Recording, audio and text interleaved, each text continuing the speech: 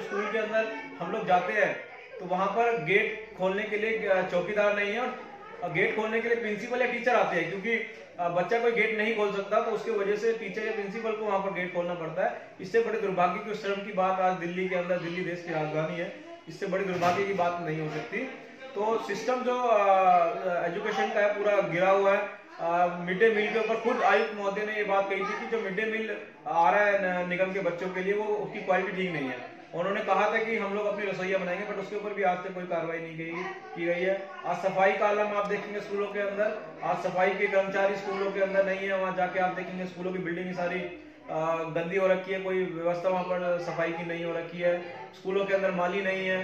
तमाम जो computer operator नहीं है वहाँ पर कंप्यूटर जो अगर रखे भी हुए तो वो भी ठीक नहीं है। तो बुरी बुरी तरीके से एजुकेशन सिस्टम को इन्होंने लचर बना रखा है। साढ़े ग्यारह साल से इन लोगों की सरकार है निगम के अंदर। और आज भी स्कूल ऐसी है जो पुरानी स्थिति के अंदर थे। तो आपकी तरफ़ से इसके ऊपर में क्या कदम उठाया जा रहा है और भाजपा को आप इसमें कितना जिम्मेदार मानते हैं? देखो जून के अंदर भी पूरा पूरा जो ज़िम्मेदारी वो भारतीय जनता पार्टी की साढ़े ग्यारह साल से निगम के अंदर भारतीय जनता पार्टी की सरकार है। और साढ़े ग्यारह साढ़े ग्यारह साल से आई एजुकेशन सिस्टम को ठीक नहीं कर पाए। पूरा एजुकेशन सिस्टम इन लोगों ने निगम के अंदर खराब किया हुआ। और पहले भी जून के महीने में सदन की जिम्मे सरकार है। अगर उनको कुछ सीखना है एजुकेशन के अंदर तो दिल्ली सरकार से उनको सीखना चाहिए। आज पूरे वर्ल्ड के अंदर दिल्ली सरकार जिस तरीके से एजुकेशन के अंदर चर्चा के अंदर है। माननीय उप मुख्यमंत्री मनीष सिसोदिया जिस जिस तरीके से क्रांतिकारी कदम दिल्ली सरकार स्कूलों के अंदर उठा रहे हैं, उस तरीके से उनको सीखना चाहिए और पूरी की पूरी ज़िम्मेदारी भारतीय जनता पार्टी की है। यहाँ सैनिटरी जो बच्चे स्कूल्स के अंदर आते हैं, वो बाथरूम जाते हैं तो हाथ धोते नहीं हैं। तो हमारे यहाँ liquid soaps hand drying machines sanitary vending machines hand sanitizers ऐसी बेसिक सुविधाएँ ज़रूर हैं। टीचर्स के लिए भी हमने प्रपोज किया है क्योंकि चौक जो होता है चौक डस्ट से काफ़ी टीचर्स को एस्थमा की तकलीफ़ हो जाती है और सांस की तकलीफ़ को देखते हुए एलर्जीज को देखते हुए हमने ग्रीन बोर्ड का कॉन्सेप्ट लेकर में ग्रीन बोर्ड्स लग जाए।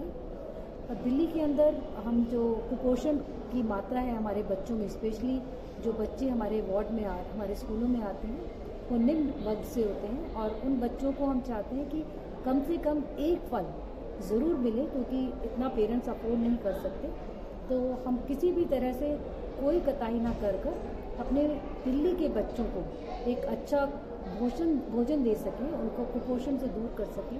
इसलिए मेरा सुझाव था इस बार की बजट समिति में कि हम एक फल ज़रूर दें इन बच्चों को। उसी तरह से हम लोगों ने स्मार्ट स्कूल का कॉन्सेप्ट लेकर आए हैं कि स्मार्ट स्कूल हर वार्ड में एक ऐसा स्कूल बने कि जो अपने आप में पूर्ण हो, जिस बच्चे की वजह से जो आज हम नर्सरी एडमिशन्स की प्रॉब्लम को झेल रहे हैं वो ना हो कि तो उससे आसपास के जितने भी पेरेंट्स किसी भी स्तर के हों वो साथ के प्राइवेट सरकारी स्कूल में इन बच्चों को भेज सकें। और इसके अंदर हम लोग एनजीओ के द्वारा भी मदद लेंगे जिससे उस स्कूल का स्टैंडर्ड हम एग्जैक्टली प्राइवेट स्कूल के लेवल तक ला सकें। मैम विपक्ष लगातार आरोप लगाता है कि दक्षिणी दिल्ली निगम के अंतर्गत जो स्कूल्स हैं उनमें बैठने के लिए डेस्कों की कमी है और उसके लिए हम लोगों ने टेंडर प्रोसेस कर दिया है और इस समय वो डेस्क सैम्पलिंग के लिए गए हैं।